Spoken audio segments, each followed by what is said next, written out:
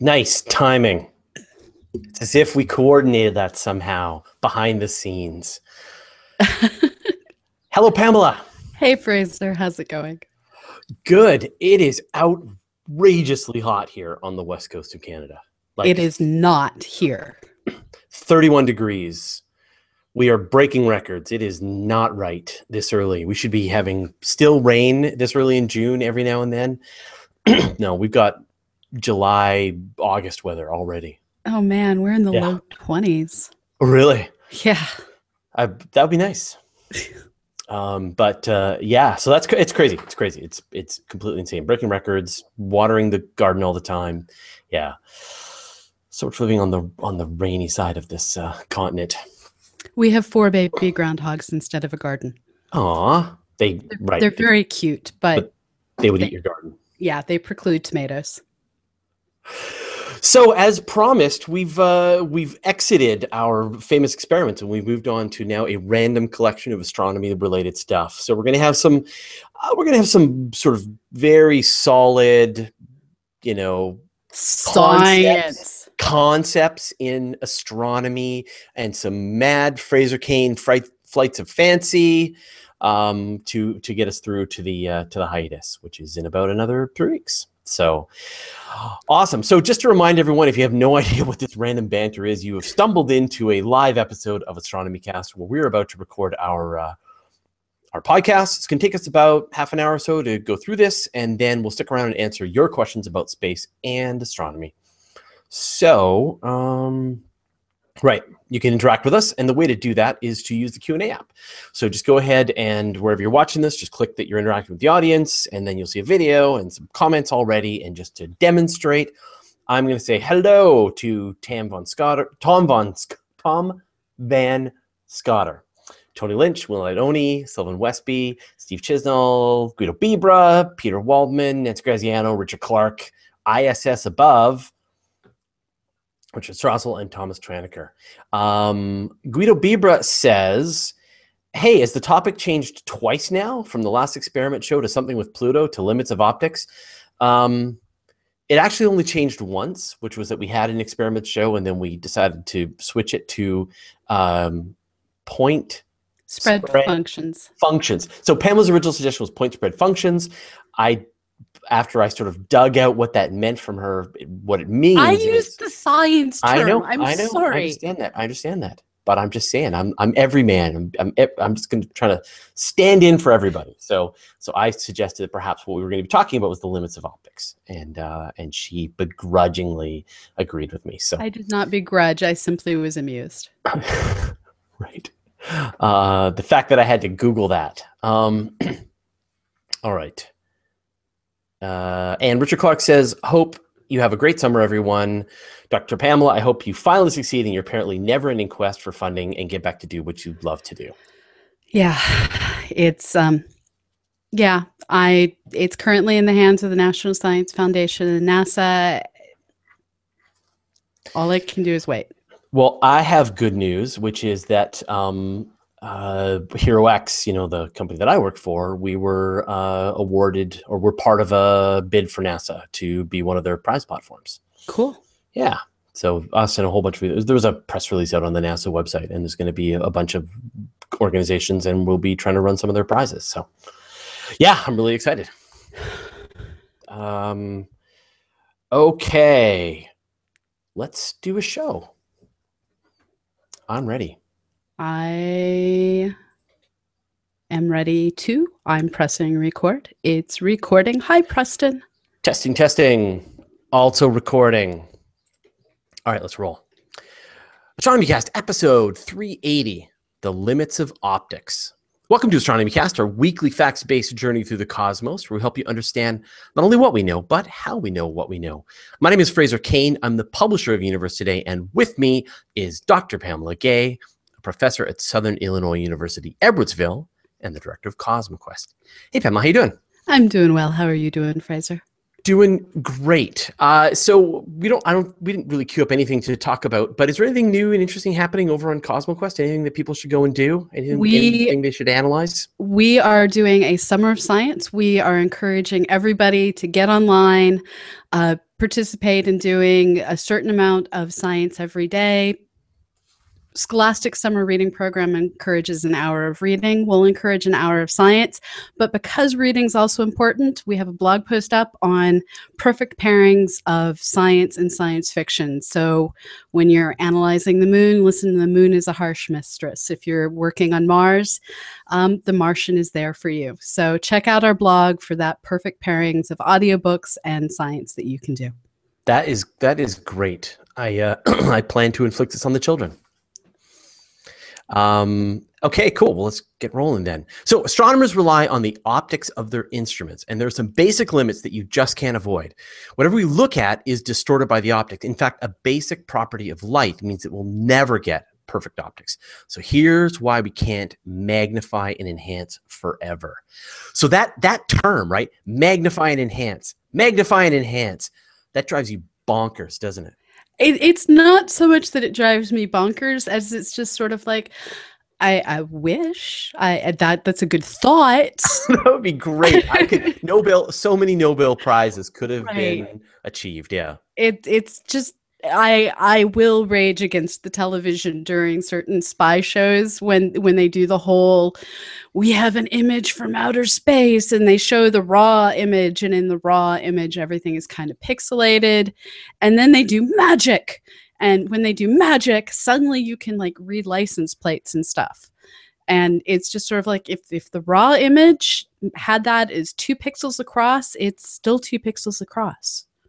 So I guess let's go back to like the spy movie or whatever, right? And you just sort of described this really well. They're they're they've got this kind of grainy, blurry image from really far away, and they they they zoom in, and then someone says zoom in and enhance. They pick some little part, and then they they blow it up, and then a computer does some kind of pixel interpolation, and and you get a little bit more uh, resolution, and then no, no, just that area on the license plate, and then it zooms in again. You get a little, and then boom, the license plate comes into view, and then they've they've got their lead. Where are they going wrong there? they're going wrong by having a delivery man coming to the door right now. Let me close doors. I'm sorry. I I I don't know if that's what happens in the science. Um anyway. Uh, so I'm going to just make a few more comments, and then Preston, you're going to have to cut all this out. Uh, so Thomas Tranaker says 45,367 creators marked, and you can help Pamela at CosmoQuest. Nicely done, Thomas. Um, Nathaniel uh, Sanchez says it's a 100 degrees right now and beginning up to 107. Uh, but that's Arizona. Come on, man. That's that's you chose that place. I chose a, a temperate rainforest. Um, Your temperate rainforest has a lying ecology. yeah. Uh, and Tom Nathan notes that uh, Kerbal Space Program and Tau Zero. I'm not sure what that was in related to. Tau zero is Tau a constant. Yeah, but there's also like a Tau Zero society. I think people are trying to create faster than or exploration of the. Tau is h bar divided by pi or some or h divided by pi. All right, I'm let's get cracking again. confused. Okay, sorry. Do let me. Uh, we need to apologize to Preston. Okay, so uh, when last we saw our heroes, I can re-ask the question if you like. No, I remember Uh, the question. So It's- where are they going wrong? So, so the fundamental issue is you get data with a digital detector um, such that you have little tiny light buckets called pixels that are simply going light or no light. And they do this usually in several thousand different increments of light or no light. Those pixels, you you can only do so much to figure out well, if you have light in this pixel and no light in this pixel, what must be going on between these two pixels? And with these spy shows, what they're doing is essentially saying, we have six pixels and we're going to somehow take those six pixels, or usually it's something like three by six pixels, and we're going to resolve those three by six pixels into 300 by 60 pixels. And you can't get information out of nothing.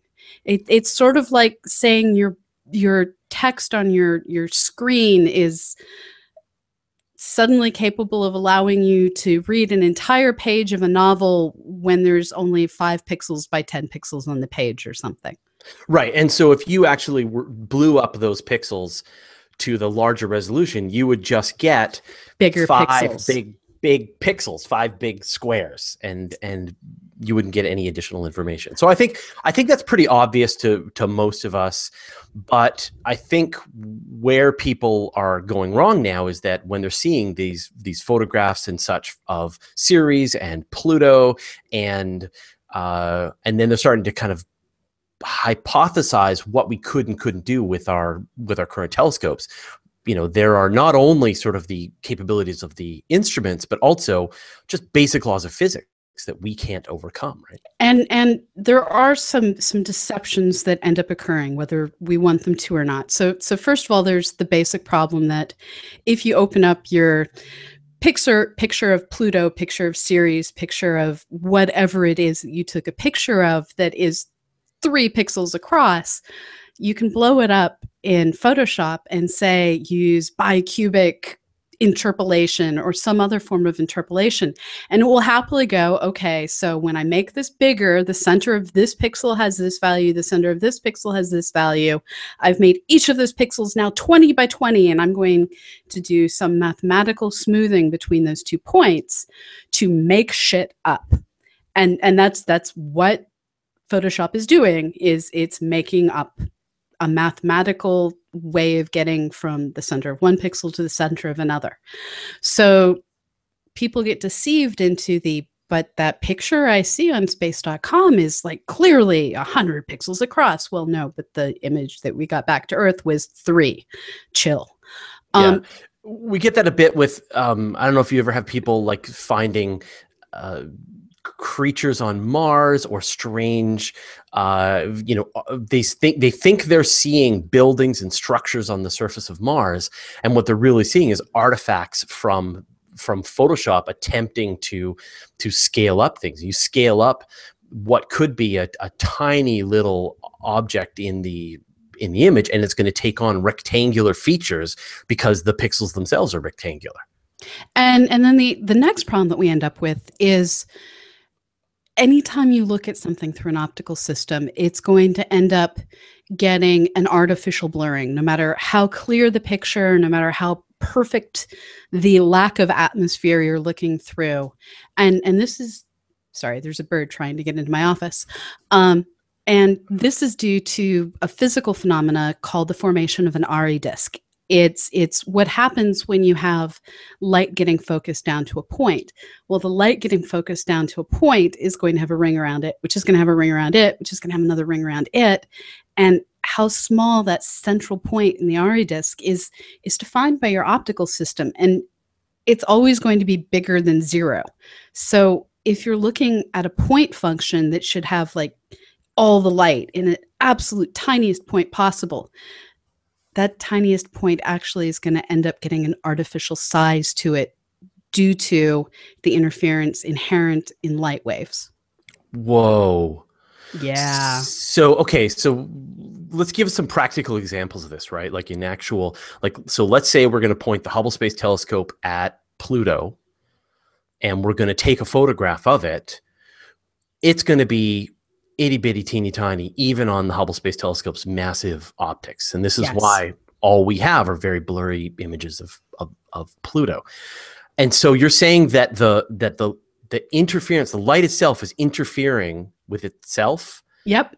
And and is causing, I guess, uh, like a probability function of where it appears in your in your images, and that you literally can't see where it actually is and what it actually is because of this interference. It, exactly. Using Hubble as, as an example, it actually complicates the picture even more because when you're dealing with Hubble, now you're dealing with a complicated optic system that is going to add in its own distortions. So even if we had like a, a perfect single lens system, single mirror system that focused the light down onto a detector of some sort and we're looking at a distant star. So so there is no angular size to what we're looking at. It is a point source.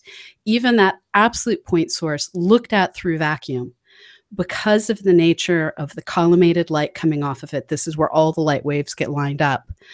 You're going to end up with the photons interfering with the photons and and creating this set of rings that creates a disk and I, think I, I kind of understand this sort of, you know, I'm thinking about in my mind, right? Like you can imagine like what a a lens is what what an optic system is is it's a funnel and so you're taking the light rays that would be parallel to each other and then you're you're squooshing them down so that more of them are you know a bigger collecting area is falling on a smaller ccd and so it's like you're you're packing the photons together and that and that's causing them to interfere with each other. So they're not where they would have normally been. They're now in a much tighter area interfering with each other. Is that is that kind not of right? quite. It, it's simply the the nature of of lenses and and mirrors. When you when you play with the lens, you can actually, if, if you do this just right, you can set up a set of, of rings by pointing a laser through a lens, or you can set up a series of lines against a wall if you reflect a laser off of a CD that maybe you got in the mail with something or a DVD you have hanging around in the house. Light just likes to interfere with itself. It doesn't have to be crammed down, it simply has to be put in a situation where the where the rays go from traveling parallel to one another to being put in a position where they can interact. So instead of focusing them down, you can, for instance, focus them through a slit. And when you focus them through a slit, they spread outwards. So so it's anytime the light rays are given a chance to go from being parallel to one another to being not parallel to one another, and they can interfere. Right, and you will literally lose information. So, how do astronomers? I'm, I'm guessing that when in you know professional astronomers they spend some time dealing with learning all of this and then it's like it's the uncertainty in their results right that as they look at images they know what the uh, what the resolution know. of the system is going to be and and it's actually a good thing that we have this point spread function in a way because if if you think about it if you have the light from a star spread out over a few different pixels that allows you to to do better analysis on it to do things like correct for cosmic rays and things like that that you couldn't do if the light was a square star if you had that single pixel of light. So when you do have telescopes that have really big pixels and really large fields of view you do have to sometimes knock them a little bit out of focus to get the starlight spread out over more than one pixel. So it actually works in our favor to have this point spread function but it's uh, it's different than like when you say you know the the actual CCDs where the the photons will spill out of one bucket and then into others, right? And then your your image actually has gets bigger because there's just too much light falling in any one area. That that's that's where you saturate your image. So, right. so the way to think about a CCD is it's that ultimate set of detectors that are collecting the starlight that's raining down from the sky and if you get too much starlight in one bucket, it's going to flood out of that bucket. And it has the potential where the buckets touch on the sides and the top to spill from one bucket to another. Now, it turns out the way the optics usually work that you end up with preferential spreading along one axis, which is where you end up with spikes that are often missed termed diffraction spikes. No, they're just saturation spikes. Um, but this is one of the things we have to deal with. Now, it's it's not just the Airy disk that ruins your images to a certain point, or in the case of trying to do photometry, makes what you do a little bit more understandable. Um, you also have to worry about the optic systems um, smearing the light that you're looking at in different ways. So, so this is where I said looking at things with the Hubble t- Space Telescope is an actually more complicated problem because you end up with the way the light focuses in the center in the image is different from the way the light focuses on the edge of the image. Um, and this is a convolution of optical issues, of tracking issues. Um, here on the ground, sometimes you just have the someone bump their head on the telescope issues. And of course, the atmosphere and and the atmosphere and all of this works against you. And people do try and deal with this by doing fancy deconvolutions, but you can never mathematically say this fancy deconvolution I did is actually representative of what the light would have done had you not bumped your head on the telescope, but it's the best you can do. And so each iteration. Each each time you move through a piece of optic system each time you have to go through an instrument you know every time as you come through the atmosphere you're going to lose a certain amount of information that can never be restored that can never exactly. be brought back. And no amount of trying to fill in the gaps is going is going to work. And so it just adds uncertainty to uncertainty to uncertainty each step that you go. And you, this this means that we do have to do complicated things when we're doing our science. For instance, if you're trying to accurately measure the light from stars, you have to take into account the fact that your stars may actually look like teardrops and count the light within a teardrop shaped what we call annulus the the shape where we count the light and say this is starlight and then a teardrop shaped um, annulus around that, which is where we say this is what the sky's light is to get at that sky subtraction from the star to get a pure star starlight. It means that when we're trying to separate stars from galaxies, um, at the edge of our ability to separate those two, we have to be careful to realize that our stars may be ellipsoids because of tracking issues. And and so you have to say all ellipsoids that are shaped in this one exact way that's probably a star. We we have ways to take this into account but it does as you point out add uncertainty to what we're doing. So how do you as an astronomer when you're you're planning out for example you're going to do an observing run you're trying to get a certain kind of data how do you account for all of those of those issues you know it, do you know i mean i guess when, does an observatory provide you with the various issues along the way and then you have to then compute the uncertainty into what you're doing it, it all depends on the system you're using. Uh, so, so for instance, a lot of the research I did, where I was dealing with uh, either a wide field uh, telescope uh, that had a one degree field of view. And it was on Earth and it was dealing with wind and it was dealing with tracking issues and all of the things that are fundamental to using a telescope that is as old as I am or older.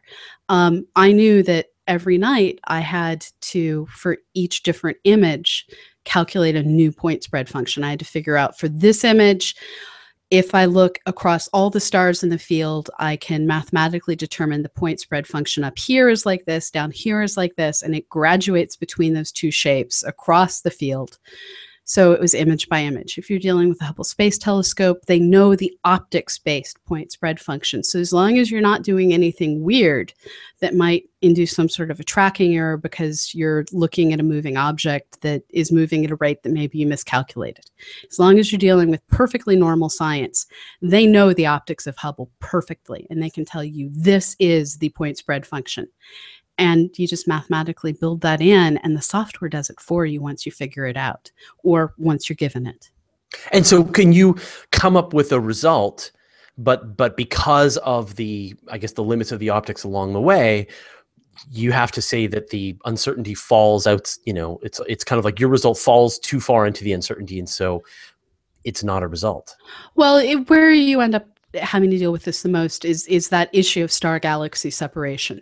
Uh, if you're trying to figure out these faint little things that I'm looking at that are basically the same size as a star, you have to figure out how much am I interested in the galaxy such that I'd rather get more stars in my sample versus how much am I interested in a different science problem so it's more important that I miss galaxies and only have galaxies. So, so you have to make choices as you go.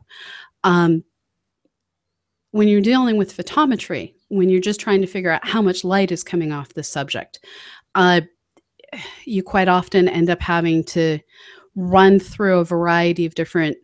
I'm going to try one of the things that we look at is what's called full width half max. This is where you do a curve of how much light is coming off of an object and and you plot the from the center outwards how much light am i getting? And there's a certain cutoff where at that width of of that plot of from the center outwards how much light do i get?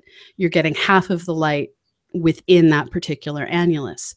You try different multiples of that, trying to figure out what is the best solution for the sky conditions you're dealing with on a given night. It's it's complicated, and there's in, entire basically observing books dedicated to the simple problems of trying to figure out very precisely how bright is this thing that I'm trying to measure. And Right. If you study variable stars, it's important for you to be able to know if the star is varying in brightness.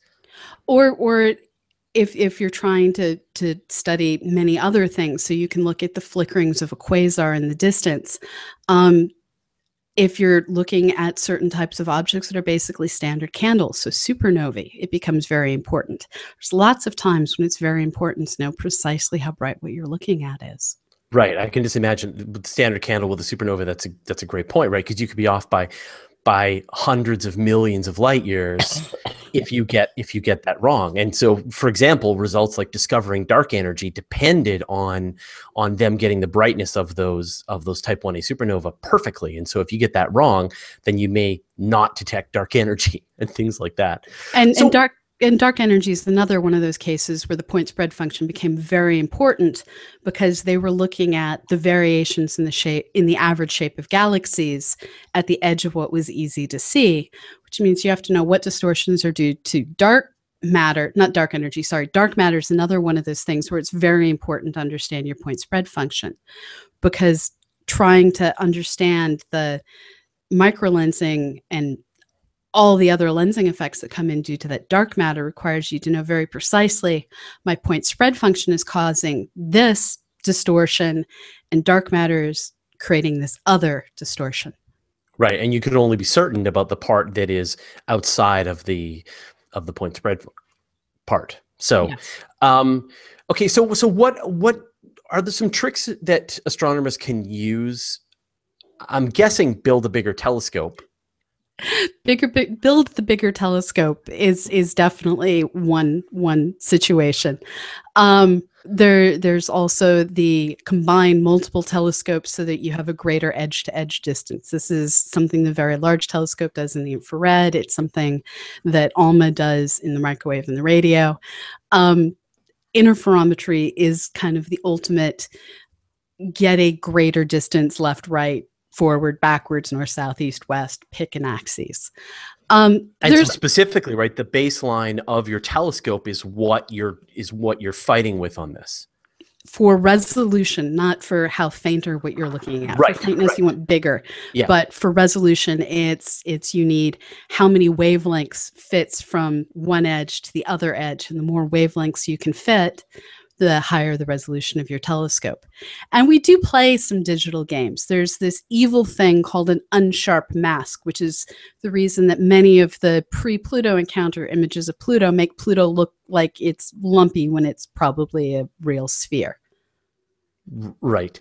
Now, what about time? Because uh, like I know with a lot of amateur astrophotographers, when they take images of, of Jupiter and such, for example, instead of just taking a photograph, they will record a video and then they'll stack up all the frames of the video where bits and pieces of it are clear and it creates a very stunningly clear image that looks a lot better than what you get with just one one frame from the telescope. And I know that NASA actually has has developed technology that's sort of similar for that that that they can instead of looking at a photograph, they actually can enhance, zoom in and enhance. It's called drizzle. Um, so, yeah. so the idea is that if you take just one image, all the the pixels are going to be distorted due to the light getting shifted over time as it comes through. So, uh, to to give you a specific, the light from the red spot might be three pixels by three pixels, but then also wander an additional three pixels in any given direction over time. So that three pixel by three pixel red spot over a five minute image might blur out to a nine pixel by nine pixel smudge.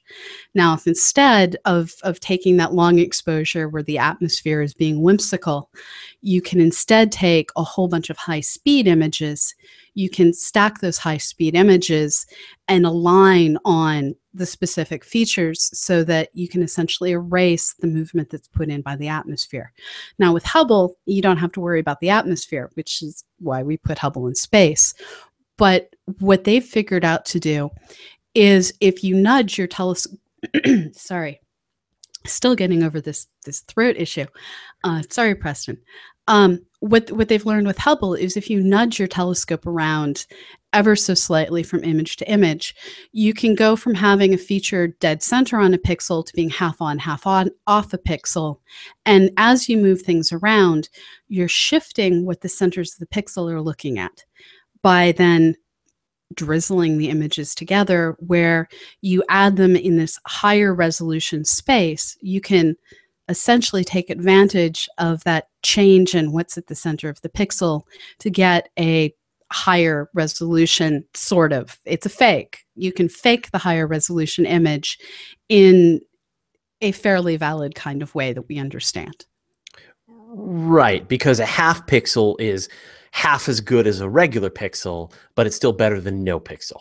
Well it, it's giving you an authentic understanding of what's going on when you're pointed at this one place versus when you're pointed at this other place. So you, you can actually say, yes, the average between these two positions is actually half of that half of their two values, or oh no, it's not actually half of their two values. It's it's actually a third. Um, so it gives you a sense of what is the gradient between two different positions as you move the telescope around. That's pretty cool. So they, it, they'll actually just like just gently drift the Hubble around a little bit just to try and get moving, shifting the images onto different pixels, and then they'll build it back on computer to to rebuild it. And and we do this with ground-based images as well. With ground-based and with space-based, you have to worry about things like cosmic rays, hot pixels, uh, variability and sensitivity, and and so in general, even if you don't have the advantages of drizzle, by moving the image around ever so slightly with where it hits on the CCD, you can take care of some of these blemishes, take care of some of these aberrations. That is that is really cool. So, are there any other any other tricks? I mean, you talked about about interferometry.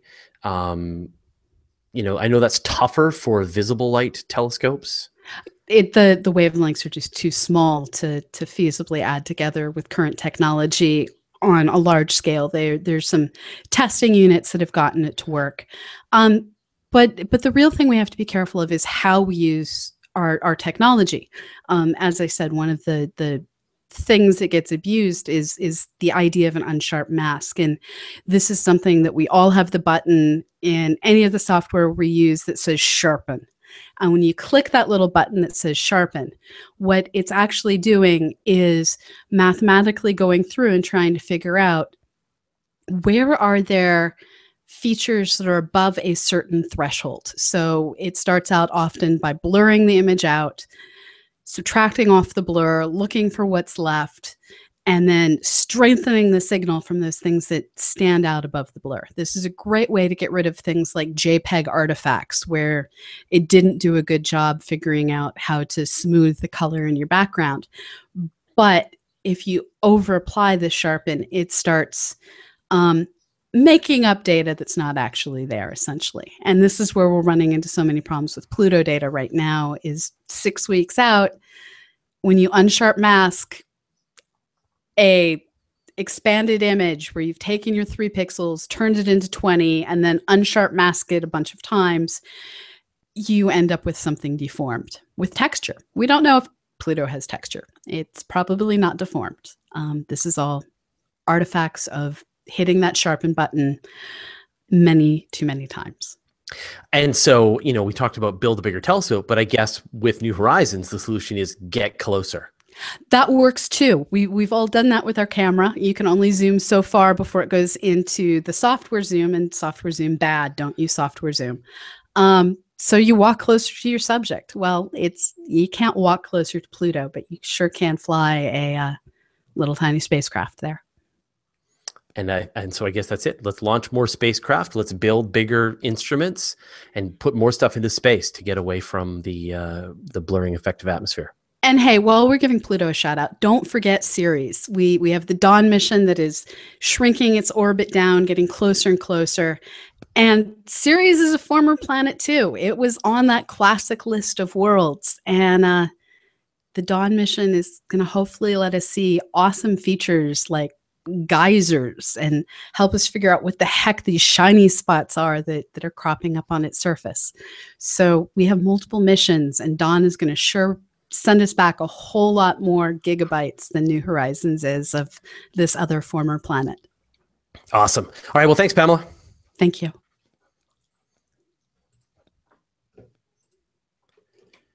Uh, and you thought we'd run out of things to say. No, I just want. I, I, I if I need to get my head around the around the the concept, and then once I feel like I understand it, then I can. Then I know that the uh, the viewers will dig it too. So cool. I have legs. It's kind of teeth.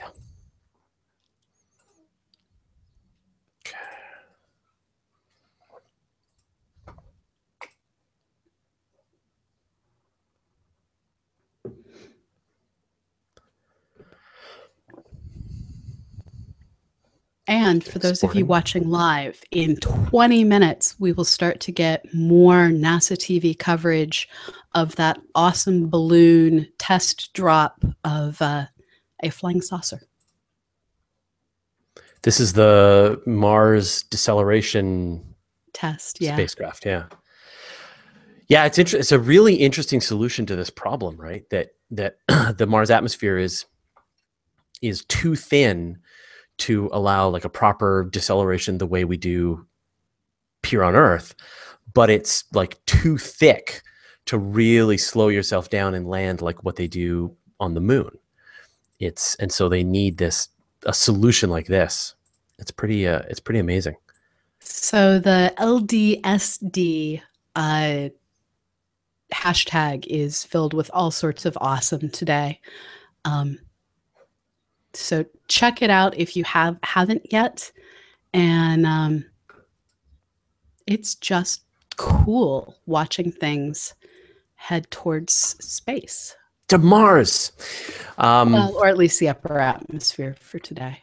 And so, just one reminder as well, while you're watching this, uh, the new trailer for The Martian is out. You should uh, go watch it. It's really great. Um, I, am having a, but I liked the book moment, as as I already told Fraser earlier today. Ridley Scott is uh, he can only rarely do wrong in my mind, like Prometheus. But uh, yeah, that, that one was great. bad. Yeah, but I saw I see him growing potatoes. I see math. I'm I'm excited. Uh, so if you haven't read the book, read the book and then or stick around till November 25th and watch the movie.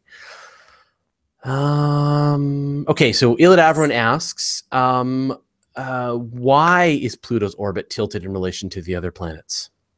Don't know. Possibly.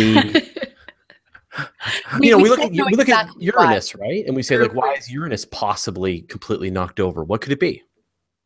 Well, with Uranus, it was probably either a um, impact or some sort of a torquing event. But with so many different Kuiper belt objects, with so many different tilts um, you you don't know what was the heating process that essentially knocked so many different things into wild orbits so it could be anything from a three body interaction with another Kuiper belt object to uh, impacts to some kind of Multiple. outgassing outgassing thrust over long periods of time from exactly. interactions with the sun or or maybe a close pass from another star that maybe heated it up there's a million things that could have happened over 4.5 billion years okay with with the inner kuiper belt it's it's probably not a star passage but there's so many things it could be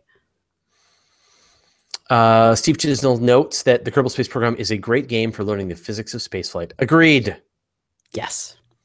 It doesn't um, have balloon launches yet. Not yet. Uh, they've they've got a mod that does um, ion drives. I don't know if they've actually put it into the main game yet. Yeah, but that's super cool. Um, so Larry Beckham asks, can you make a CCD that does still that that does still that will not saturate? Can you make a CCD yes. that won't fill up?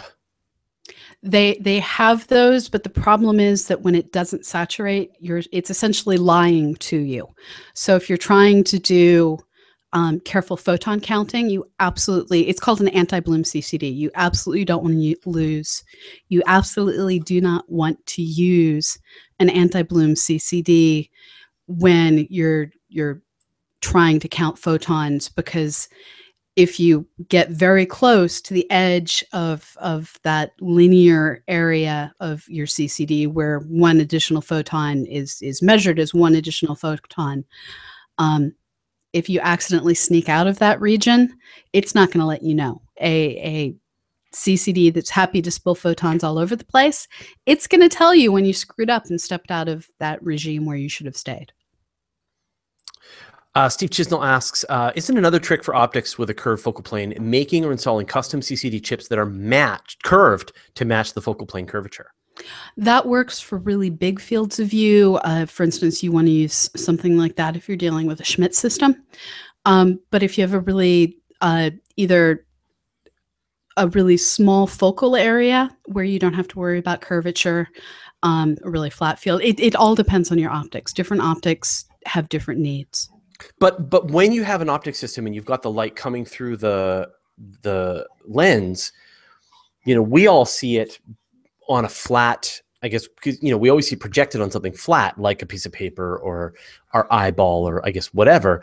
But but I guess that's the question is like when it's actually coming down, is it ideally projected onto a curved system that somehow matches the the curvature of the of the lens? It, it, it, depends entirely on the optical system. Right. So there are some optical systems like Schmidt um, optical systems that end up with a curved focal plane. That if you put a flat detector on, you're going to end up with what's called spherical aberration, where the outer parts of it, the image focus at a different place than the inner parts of the image. Now, with a system like that, if you curve your detector, you're good. Now, with other systems, you have a completely flat focal plane, so that's not an issue. Okay. Uh, so here's a question that's completely different um, from John Hamilton. And so he asks How can a black hole be said to be spinning? I know that compact objects speed up when they collapse down, but once the matter collapses behind an event horizon, it's basically cut off from our universe for good, right? Why not a spherical event horizon once formed? Um, so, so the spinning actually defects the shape of the event horizon and changes how things interact at the event horizon.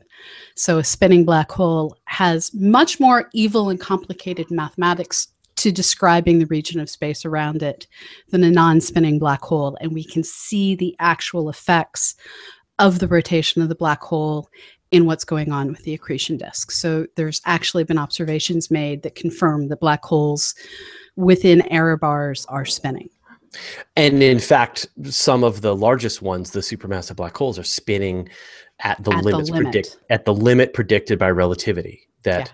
that they are spinning just shy of light speed, which is crazy.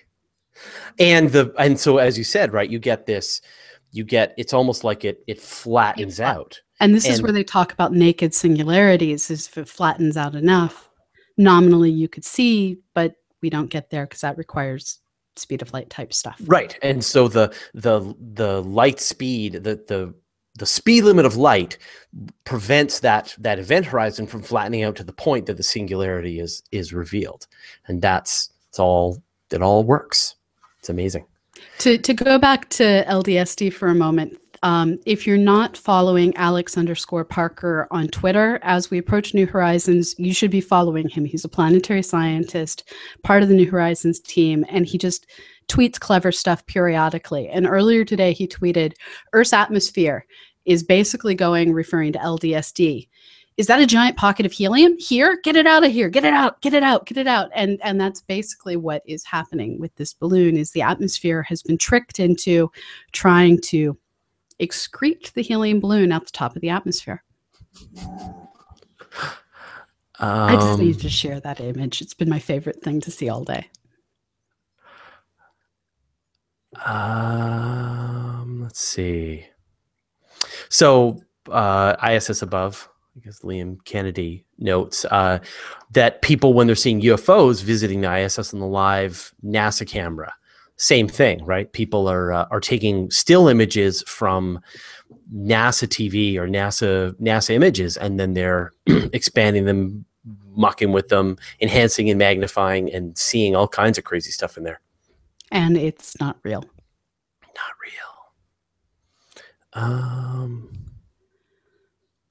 uh, Atom Synergy uh, posted a link on on AstroPH about the minimum, the way you can get at the minimum, I guess. Hell, okay, hold on. Sorry. Uh, yeah, so the lower limits on aperture size for an exo Earth detecting coronagraph mission.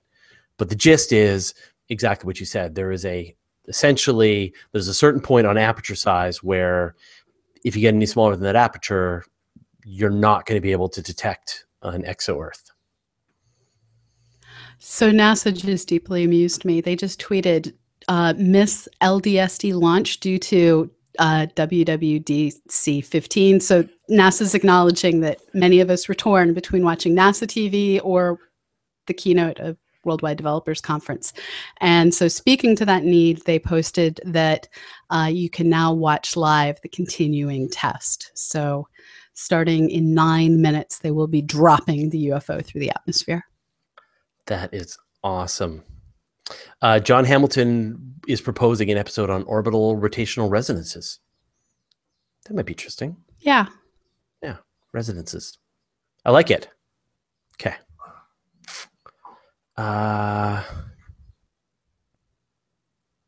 so Elid Avron asks, how artificially enhanced was that huge image of Andromeda that was released some months ago?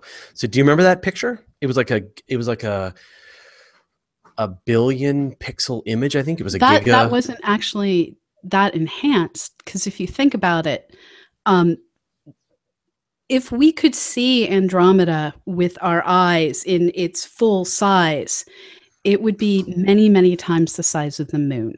Yeah. It's it's several degrees across. The moon is half a degree across. Start adding in what you can see in the infrared of the gas that you can't even see in the visible. Andromeda is big, and and so it's easy to get that many pixels of it if you look at it with high enough resolution telescopes. Yeah, totally. The real frustration with Andromeda is the variation in brightness as you go from the outer edge to the very center requires lots of working with logarithms to try and scale everything so you can see the faintest details and not oversaturate the center.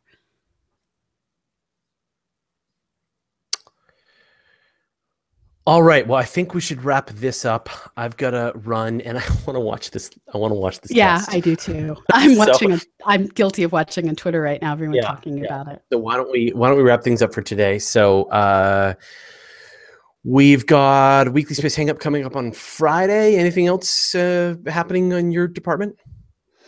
I think this is a mostly week off. Uh, next week we will have Astronomy Cast on Monday, Google Lunar X Prize on Tuesday.